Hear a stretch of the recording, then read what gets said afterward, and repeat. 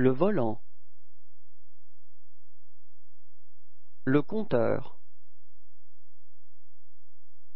L'autoradio. L'écran.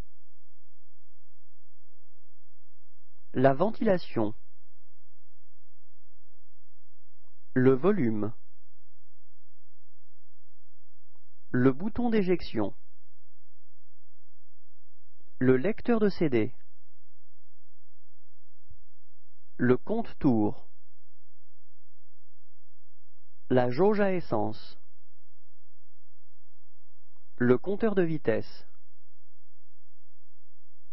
Les phares.